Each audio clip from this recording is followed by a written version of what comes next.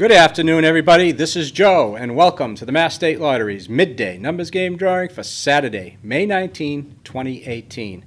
Don't forget, you can watch all of our drawings here on masslottery.com. And now, let's see how you did in today's drawing. Four, five, three, two. Once again, the winning midday numbers for Saturday, May 19th. Four, five, three, two.